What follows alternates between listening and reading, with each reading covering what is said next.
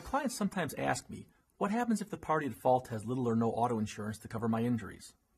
I tell them, we'll need to get a copy of their auto insurance policy and the policy of any family members they lived with at the time of the accident to check to see if they purchase uninsured or underinsured motorist coverage, depending on the case.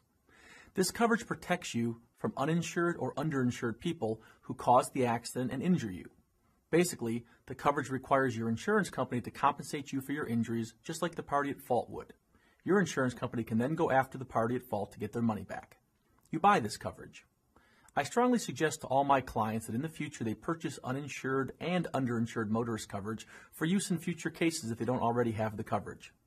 And oddly enough, as mentioned above, most people don't know they may be able to collect from the auto insurance company of the family members they live with at the time of the accident, even if they have their own policy of insurance.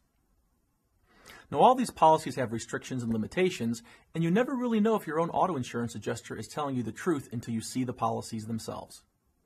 Is there some way of knowing if you're getting all the insurance benefits from all the sources that you're entitled to? Not without a personal injury lawyer. And that's why you need a personal injury lawyer like me.